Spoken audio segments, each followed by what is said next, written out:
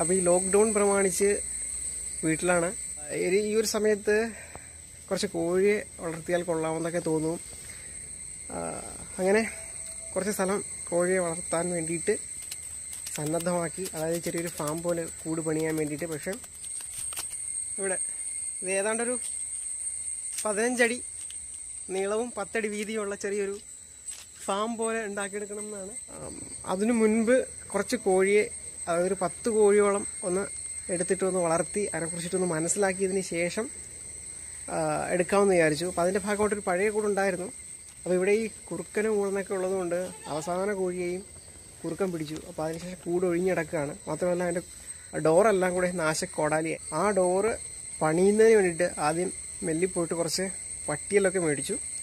ഒരു കോൽ പട്ടിയല്ല അതായത് എഴുപത്തിരണ്ട് സെന്റിമീറ്റർ പട്ടിയൽ വന്നിട്ട് വില വന്നത് പതിനഞ്ച് രൂപയ്ക്കാണ്.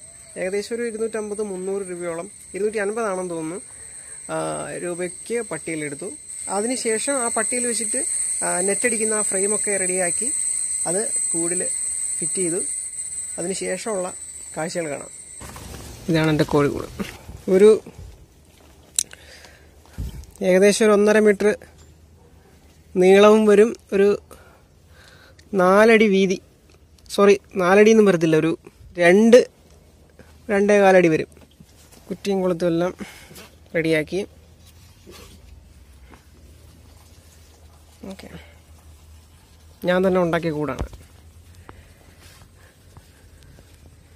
ഇത് മുറിക്കാൻ കുറച്ച് പ്രയാസമായിരുന്നു. അപ്പോൾ തടി അറക്കവാളില്ലായിരുന്നു. ഞാൻ പിന്നെ ചെയ്തതെന്ന് വെച്ച് കഴിഞ്ഞാൽ ഡ്രില്ലടിച്ചു.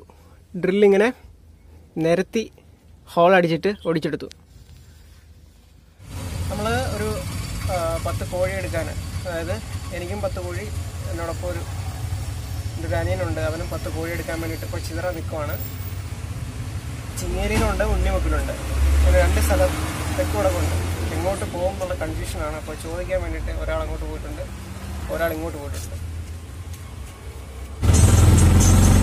നമ്മൾ കടക്കൽ ചിതറ മുള്ളിക്കാട് വരെയൊക്കെ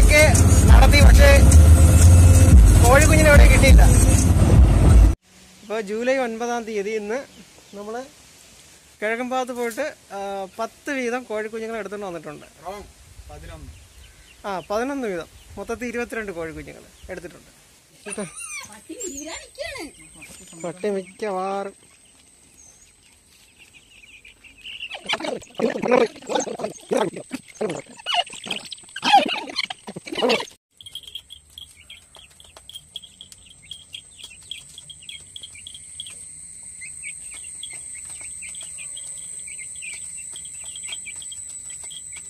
നെറ്റിലൊരു വലയെടുത്ത് കെട്ടണം.